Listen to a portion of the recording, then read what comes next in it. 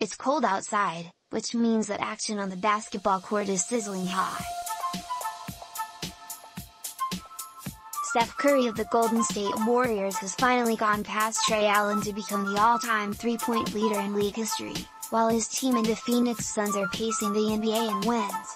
Meanwhile, the Brooklyn Nets are fighting with the Chicago Bulls and the Milwaukee Bucks for the top spot in the Eastern Conference. While the action on the court has been exciting, the drama off the court has only intensified due to the most recent COVID-19 surge. The Brooklyn Nets have had their last three games postponed as a number of players entered the league's health and safety protocols, including stars Kevin Durant and Kyrie Irving. Harden has since been cleared to return.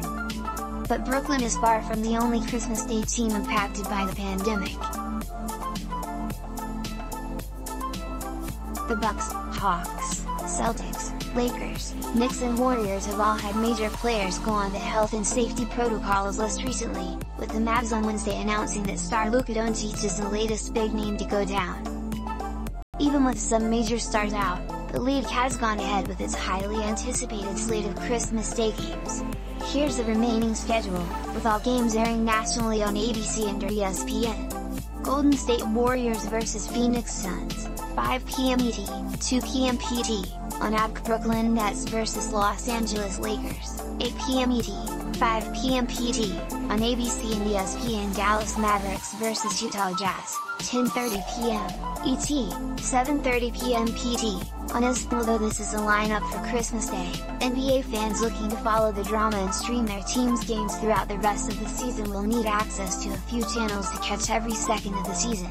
ABC and ESPN will combine to televise 101 games, TNT will air 65 and NBA TV will have 107. All out-of-market games will continue to air on NBA League Pass, which is a great choice if you follow a team in a different city from where you live.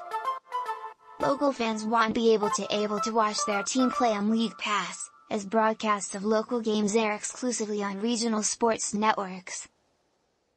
While you absolutely don't need cable to watch basketball this year, it still might be the easiest and cheapest choice depending on where you live.